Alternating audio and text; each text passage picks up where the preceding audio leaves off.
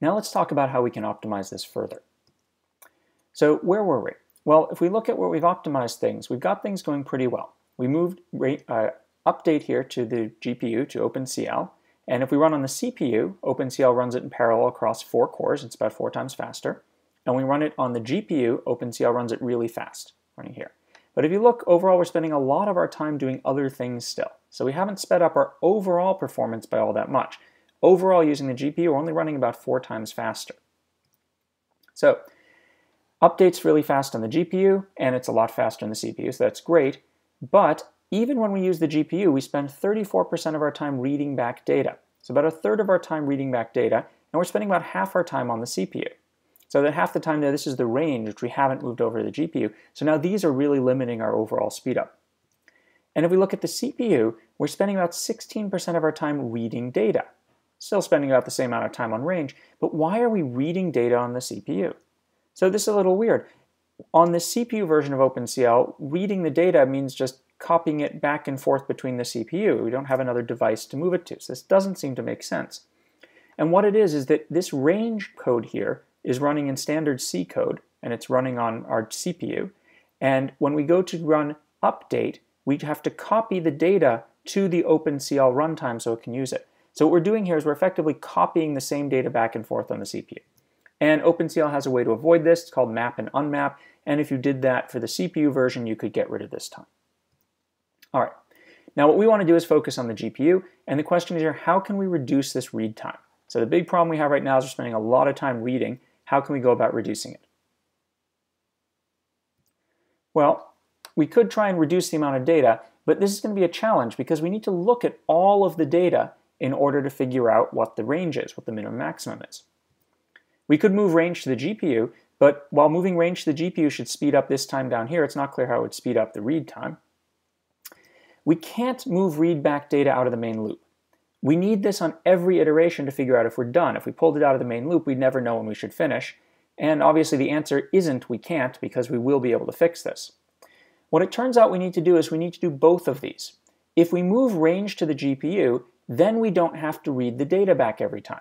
So by putting range on the GPU, we should be able to speed up the range here, as well as reduce the amount of time we spend moving the data.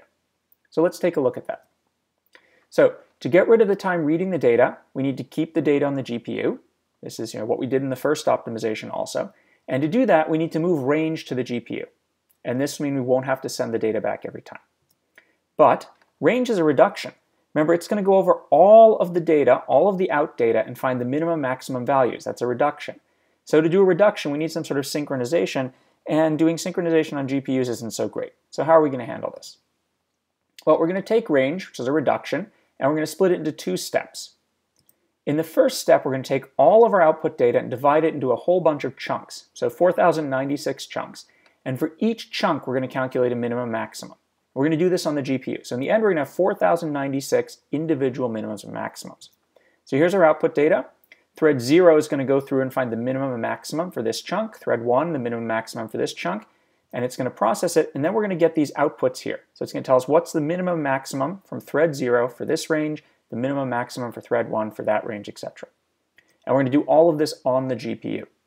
So that processing will happen quickly on the GPU, and now we have much, much less data here. So after we've done that in the GPU, now we just need to read back these values to the CPU and calculate the final minimum maximum. So now we just need to copy 32 kilobytes instead of 64 megabytes back to the CPU, and on the CPU we'll calculate the minimum maximum for just those values. So this is going to reduce our data transfer. Instead of having to send all 64 megabytes, we just need to send 32 kilobytes of data, just those 4,096 partial reduction minimum maximums. All right, how do we do this? Well, here's our main loop again. We're still going to do update CL just as we did before, but now we're going to call range CL.